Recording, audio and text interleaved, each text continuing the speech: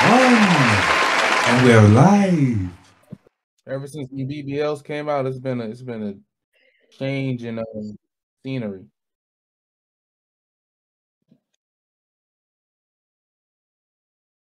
I didn't say they was worth it. I said they wasn't making enough money in the club.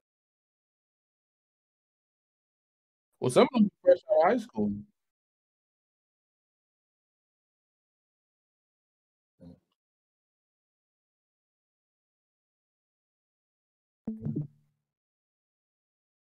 They not doing that. They doing escort stuff. Yeah.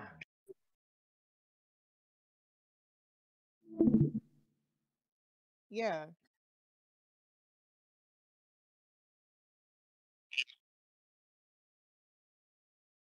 I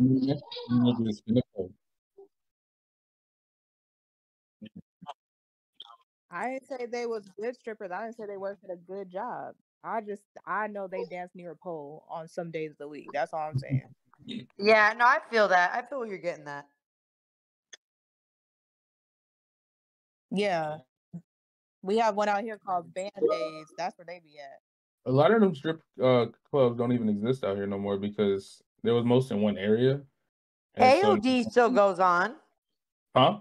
AOD and Crazy Girls is still open. Yeah, but look how far that is from. Where? Oh, oh, from that location? Yeah, I mean that's West Hollywood. Yeah, So they're not gonna be.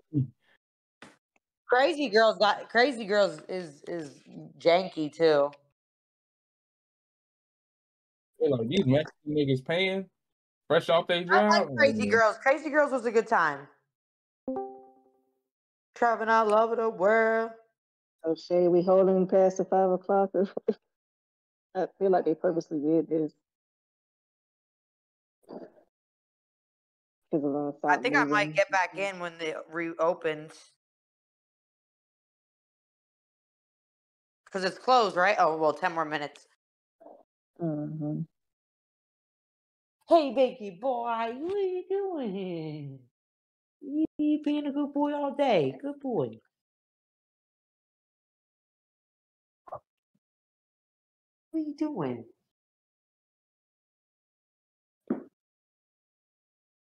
Oh my god, finally my hip just cracked. Oh my god, I've been waiting all day. That does not sound. Let's go, Bree. Oh, that needed it was literally like stuck or something. Ooh,